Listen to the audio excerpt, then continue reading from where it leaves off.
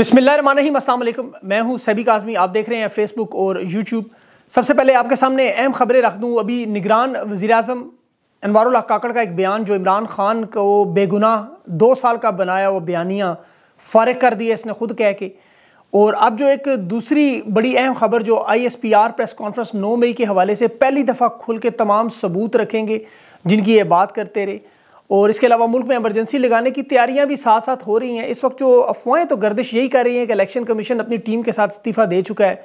निगरान वजी अजम वफाकी काबीना भी फारग है और बड़ी ख़तरनाक खामोशी भी छाई हुई है। इसके पीछे वजह क्या मैं आपके सामने रखता हूँ।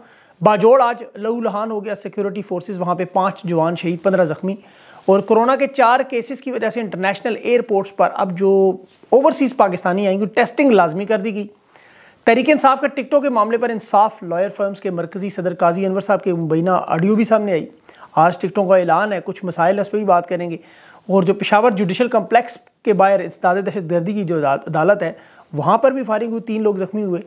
अब बल्ले के निशान का मामला 10 जनवरी सुप्रीम कोर्ट में केस लग गया, समात के लिए मुकर है।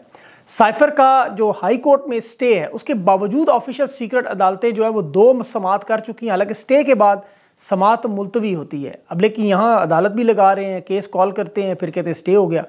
कि जी, केस आगे नहीं बढ़ रहा। अब एक बड़ा इस्तीफ़ा भी सामने आ रहा है। खान मुखालिफ इदारों में इस वक्त शदीद इख्तलाफात की खबरें भी आ रही हैं। तहरीक साहब की फ़ंड रेजिंग के नाम पर कौम ने जेल में बैठे हुए शख्स पर तेरह करोड़ कुर्बान कर दिया। इलेक्शन मुलतवी का अगला मोहरा कौन इस्तेमाल किया जा सकता है? लेवल प्लेइंग फ़ील्ड पर सुप्रीम कोर्ट में जो केसेस आए, क्या वो नायल है या तैयारी नहीं है असल मामला क्या है?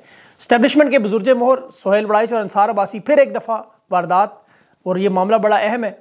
शाहीन सबाई साहब ने, जो पचास साल से जायद सहाफ़त कर रहे हैं, एक बड़ा अहम मामला उन्होंने भी उठा दिया, और बांग्लादेश में शेख हसीना दो तिहाई अक्सरियत से जीत की, मैदान में कोई सियासी जमात मौजूद नहीं थी वज़ी बन गई। अब ये सोच रहे हैं जो पाकिस्तान में कि वहाँ ये हो सकता है तो यहाँ क्यों नहीं? तो फ़र्क उसका मैं आपके सामने रखता हूँ। आपने 2024 के इलेक्शन नहीं 1970 के इलेक्शन को जेन में रखना है, जब शेख मुजीब जेल में था। सबसे पहले, लेकिन कल सोशल मीडिया पर तहरीक साहब की फंड रेजिंग, टेलीथॉन, इंटरनेट इन्होंने रोक दिया। दफ़ा एक लगाई, लेकिन सोशल मीडिया के नौजवान खान के नाम पर दस करोड़ इकट्ठा कर गए। ये बारह जमात यही समझते रहे कि सोशल मीडिया पता नहीं कोई उर्दू डाइजेस्ट है, कोई रोजनामा तकबीर है, गजवा, इनकी बातें लिख कर वो लाल टोपी वाले जायद हामिद की वारदातें नौजवानों को मुतासर करेंगे, लेकिन ऐसा होता नहीं। ये रोज़ाना सोशल मीडिया को शैतानी मीडिया, शरपसंद मीडिया मुख्तलिफ़ नाम देते रहते हैं, लेकिन असल में इनका चूँकि कसूर नहीं है, ज़्यादा पढ़े लिखे नहीं, सीखते नहीं, वरना ज़माने को देखे, ज़माना बदल चुका है, हालात बदल चुके हैं, नित नहीं है जादात आ चुकी है, ये वही लोग हैं जो लाउड स्पीकर को गाली देते थे, कुफर के फतवे देते थे, और आज सबसे ज़्यादा लाउड स्पीकर इस्तेमाल यही करते हैं। बच्चियों को स्कूल नहीं जाने देते थे, अब नित नहीं ईजादात के मुखालिफ थे। आज इकोनॉमिस्ट के कालम के बाद असल मामला हुआ, इंटरनेट स्लो किया गया। लेकिन इन्हें वारदात नाकाम होने पर समझ आ जानी चाहिए, जो समझ नहीं आ रही है, रेत में सर दे के अल्लाह जाने क्यों इस मुसीबत से बचने की कोशिश कर। रहे हैं ये खुद एक डिजिटल मीडिया पर पार्टी बने हुए हैं, लेकिन जब नफरत किसी नज़रिए में आ जाए तो फिर ताकत होती है। आज ये लोग, जो उन्होंने सल्तनत बनाई हुई है, आज लोग इस ताकत से नफरत कर रहे हैं इनकी, जो नौजवानों के खिलाफ इस्तेमाल हो रही है। दस करोड़ इकट्ठा करना इंतबी मुहिम के लिए इंटरनेट बंद होने के बावजूद ये साबित करता है कि तहरीक इंसाफ ने वाकई इनका जीना हराम किया हुआ है। अभी शाहीन सबाई साहब ने जो बात की वो बिल्कुल दुरुस्त है कि खौफ का समा है। और ये देखें रोज़ रोज़ की जो इनकी नाकामियाँ हैं, अब इनके अंदर भी लोगों के अंदर बदहवासी फैल रही है। ये जान छुड़ाकर भागना चाहते हैं। इन्हें सिर्फ़ एक सवाल खतरा है कि खान की पार्टी जीत की तो क्या होगा? ज़बरदस्ती हराया तो अवाम नहीं मानेगी। अगर ज़बरदस्ती ना लाया तो फिर क्या होगा? ज़िंदगी और इनका कैरियर दाव पे लगा है। इनके बुज़ुर्ग मोहर नवाज़ शरीफ से एक नया माहा नया पैगाम, नई ख्वाहिश का इजहार। कि चले मिलकर काम करते हैं, दस साल का मनसूबा बनाएँ। दो मॉडल देते हैं, एक सियासी मॉडल जिसमें नवाज़ शरीफ दस साल की हुकूमत इस्टेब्लिशमेंट के साथ मिलकर हुकूमत करे। मौशी पॉलिसी भी बनाए, मुल्क को तरक्की की तरफ़ भी ले जाए। और दूसरा जो N N I C S F वाला मामला, जिसमें जो इस्टेब्लिशमेंट का मॉडल छः साल का, जो कहते हैं तीन साल में मुल्क को बहरान से निकालेंगे, अगले तीन साल में ज़रिए मुआशी इनकलाब ला के पाकिस्तान को अमरीका, बरतानिया, चीन से भी ऊपर ले जाएँगे। ये बातें इनकी सुने, लेकिन हकीकत यह है कि अभी ग्यारह जनवरी को अगर आइए अपने पैसे ना दिए तो दिवालिया हो जाएँगे। ख्वाब इनके देखें कैसे हैं। गंजी नहाए क्या नचोड़े क्या, पास नहीं अदाने चली हैं भुनाने और ख्वाब इनके छः साल में हम ये कर देंगे, आठ साल में हम वो कर दें। भाई, अगर महीना इलेक्शन के बाद इज़्ज़त से अपनी तनख्वाहों में आप गुजार लें तो बड़ी बात है। छः साल और दस साल के मनसूबे तो मुंतब हुकूमतें चलाती हैं, जिन्हें अवाम की मदद हासिल हो। नवाज़ शरीफ पर से तो इन्हें अतमाद उठ चुका है, क्योंकि नवाज़ शरीफ ने कह के आया था कि ये जिस तरह देखे जुल्फ़ार अली भुटो लड़काना था, उसका मैंने उसे छीना पंजाब, अब नून लीग का मैंने किला बना दिया, मुझे दस साल दे, मैं इस तरीके साहब को ख़त्म कर दूँगा। जुल्फ़ार अली भुटो जिस तरह पंजाब का किला नवाज़ शरीफ को समझ नहीं आ रहा है कब का रेत का किला बन चुका है। यहाँ तहरीक इंसाफ पहुँच गई। अब तो इनकी अपनी सीट खतरे में है। अगर इनकी ये हालत ना होती तो इलेक्शन में तीस दिन से कम वक्त है और नवाज़ शरीफ ख़ानदान समेत घर से बाहर कदम नहीं रख रहा। आपने कभी ऐसे इलेक्शन देखे हैं वहाँ पाकिस्तान में जब हमले हो रहे थे, आपको याद होगा, दिन दिहाड़े, उस वक्त भी इंतबी मुहिम चलती रही जल से होते रहे आज हालात बिल्कुल पुरसकून है, लेकिन ये घरों से नहीं निकलने के काबिल। वजह क्या है? वजह आवाम की नफरत। आवाम इनसे शदीद तरीन नफरत करती है, और उसकी वजह इनके छः साल के मनसूबे दस साल के मनसूबे अपने अंदाज में बनाते हैं। लेकिन वो जिस तरह याजूज माजूज की कौम पूरी रात दीवार चाटती, सुबह उठ के दीवार फिर वापस कायम। तो ये जो रात को वारदात बनाते हैं, सुबह उठ के देखते हैं तो सारा निज़ाम इनका, सारा मनसूबा इनका अल्लाह दो मिनट में उलट पलट देता है। ये इंतबात इस वक्त इनके चैलेंजेस ख़त्म नहीं हो रहे। ये सारी चीज़ें साथ साथ चलेंगी। मैंने आपको पहले भी कहा, ये लंबी लड़ाई है, इसमें रोज़ाना एक चाल ये चलेंगे, इसका जवाब मिलेगा, फिर आखिरी चाल अल्लाह की होगी। हमें बस उसको देखना है। नवाज़ शरीफ कहता है कि अगर मेरी मदद खलूस नीयत से ये लोग करें अच्छा ऐसे भी शक है अभी तो मैं दस साल में तरीके इंसाफ का जादू, ये दस साल समझ रहे कि तरीके इंसाफ से पीछे है, खुद तस्लीम कर रहा है। और जो बात इसका बुजुर्जम और सोहेल बड़ाइट नहीं जानता कि खारजा पॉलिसी भी ये चलाएँ, सियासत भी चलाएँ मीशत भी उसका इंजाम क्या होता है? जनरल हमीद गुल ने खारजा पॉलिसी चलाई थी, उसका नतीजा देख लें कि जिस अफ़गानिस्तान के लिए चलते थे, आज वही हमले कर रहे हैं। जनरल तनवीर साहब ने सियासत में दखल दिया था, जो ही सियासी लोग, असल लोग आए, सारा निज़ाम दोबारा लपेट दिया गया, वो नहीं चल सका। तो ये कैसे आगे चलेगा? नवाज़ शरीफ कह रहा है कि जिन पाँच आर्मी चीफ से मेरा झगड़ा हुआ, उसकी वजह ये थी, वो सब अपने आप को मुझसे ऊपर और बालातर समझते थे।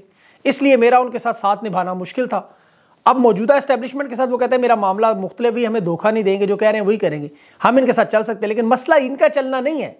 मसला नवाज़ शरीफ का चलना है। वो कभी किसी आर्मी चीफ के साथ नहीं चल सकता। मामला एक बार हो, दो बार हो, तीन बार हो, ये सात दफ़ा हो चुका है, ये आठवां बंदा होगा। तो नवाज़ शरीफ के साथ ये हो ही नहीं सकता कि ये मामला ना हो। अमीर उलमोमिन बनना चाहते हैं। सादा सी बात नबे फ़ीसद अवाम की मकबूलियत रखने वाली जमात जब तक कौमी सियासी धारे में शामिल नहीं होगी, सियासी इस्तेकाम नहीं आ सकता फुल स्टॉप ये बात जितनी जल्दी समझ है इतना अच्छा है।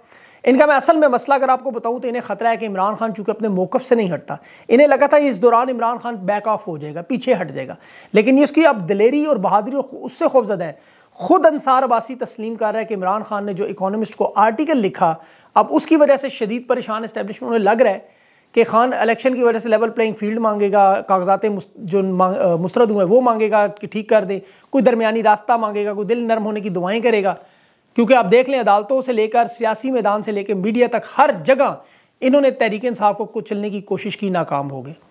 तो अवाम ये ना समझे कि इनका दिल नरम हो गया, ये दरमियानी रास्ते की तरफ़। ऐसा कुछ भी नहीं है। ये लोग बल्कि भरपूर ताकत से नवाज़ शरीफ की मदद करेंगे। इनकी बका का मसला है। तहरीक इंसाफ को कुचलने के लिए मनसूबे तैयार हैं। अब असल रुकावट सिर्फ़ और सिर्फ़ पाकिस्तान की आवाम है। अब इमरान खान तो कहता है, ना मैं इमरान खान बदला है, ना उसका बयानिया बदला है। इमरान खान तो आज भी देखें फ़ौज को सबसे अहम ज़रूरत और पाकिस्तान को की तरक्की रूल ऑफ़ लॉ जमहूरियत और इंसाफ की बात करता है। जो इल्ज़ाम इन्होंने लगाया कि जी फौजी क्यादत मुखालिफ हो इमरान खान स्टैब्लिशमेंट मुखालिफ ये झूठ है। इमरान खान किसी का मुखालिफ नहीं है। उसकी हर तकरीर का एक एक लफ्ज़ वही है जो सियासत में पहले दिन से आज तक वही नज़रिया है। खान कभी इंतकामी कार्रवाई कर, नहीं करेगा जिसके सबसे बड़ा ख़तरा है। अभी देखें इमरान खान का जो इकोनॉमिस्ट का आर्टिकल है उसमें इमरान खान ने नौ मई को फॉल्स फ्लैग ऑपरेशन कहा। अदालतों को बुरी तरह कॉम्प्रोमाइज हैं लेवल प्लेइंग फ़ील्ड की बात की। वही बातें बरह रास्त जनरल बाजवा का नाम लेके दुनिया के सामने रखी और इन्हें लगता था कि अब 9 मई के मामले पर हमें अब खुलकर अवाम और कौम के सामने इमरान खान को और तहरीक साहब को गद्दार साबित करना होगा। निगरान वजी अजम जो अनवारुल्ला काकड़ बयान दे रहा है कि नौ मई के वाकत की तहकीकत मुकम्मल होने पर जो तफसील है, वो सारी की सारी आई एस पी आर के ज़रिए कौम तक। है अब देखें, वजारत इतलात मौजूद है, पूरी मशीनरी मौजूद है।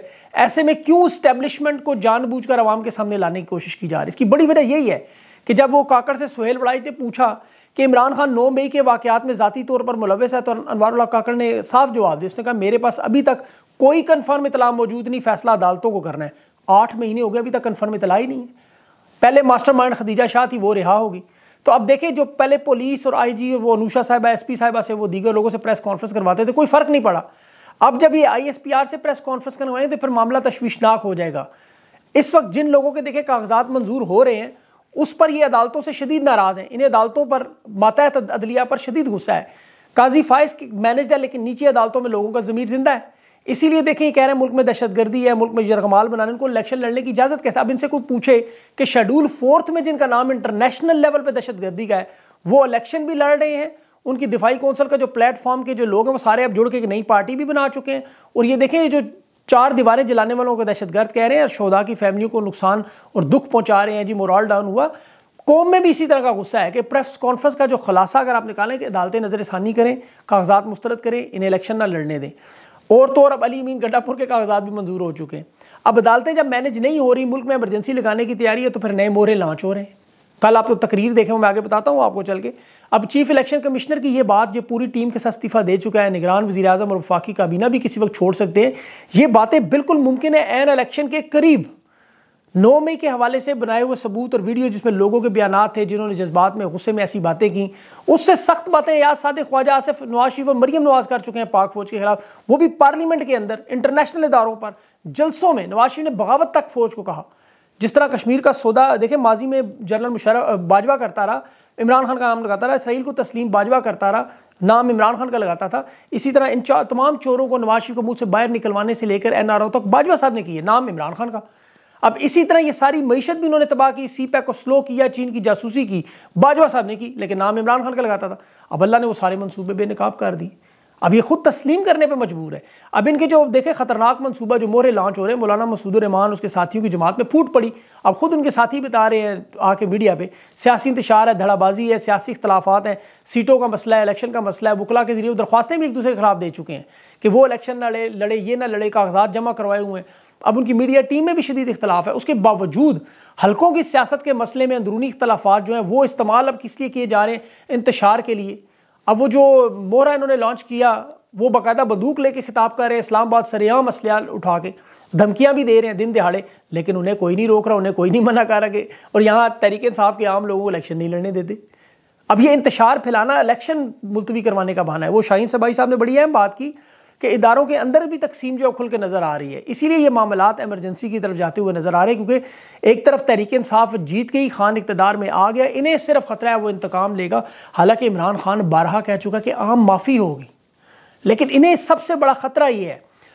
अब उससे बाज नहीं आ रहे, अगर जनवरी के आखिर में मुआशी एमरजेंसी लगे, जब कोई हल नहीं रहा इनके पास, कागजात सारे मंजूर हो गए, जैसे अली अमीन गंडापुर के आखिरी कागजात मुराद सईद के भी हो गए तो अब फजल रहमान ये सारे बड़े बड़े फारक तो पाकिस्तान को फिर खुदा ना खास्ता तबाह करने की कोशिश है।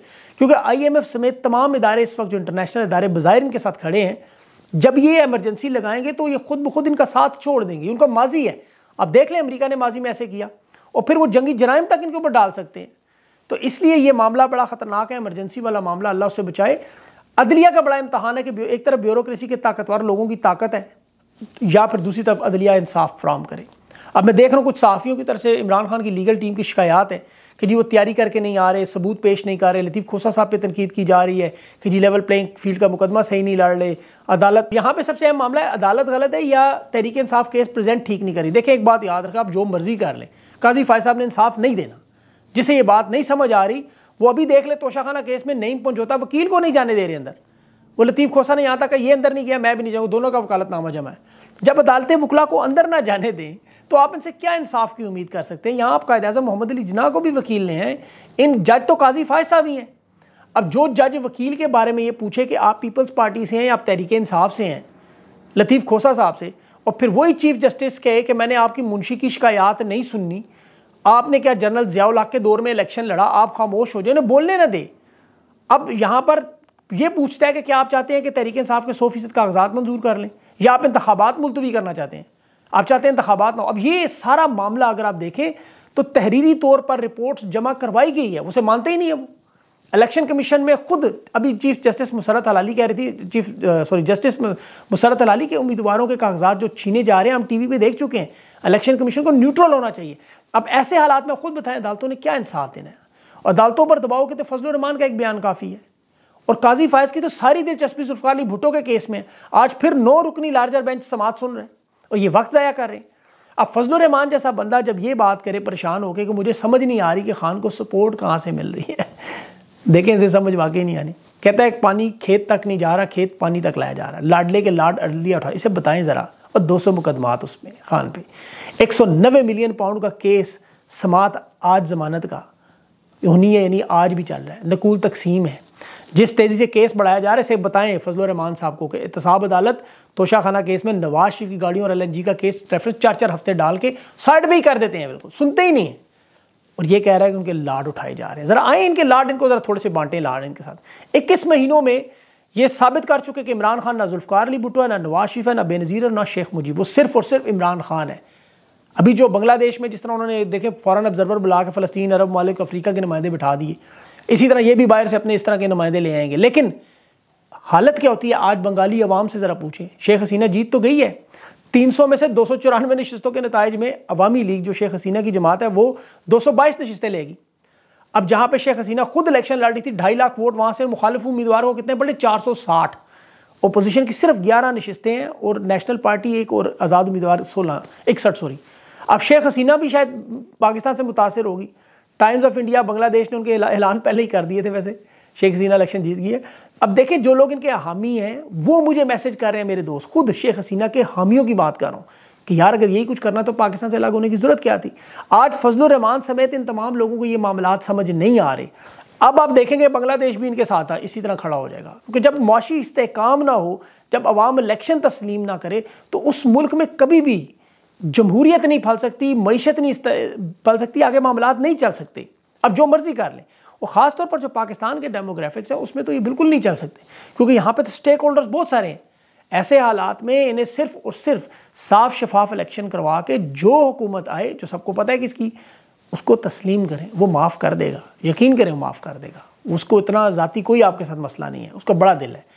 एतमाद रखें, अल्लाह खैर करेगा। अपना ख्याल रखें, अगली वीडियो तक के लिए इजाज़ दें। अल्लाह हाफिज़।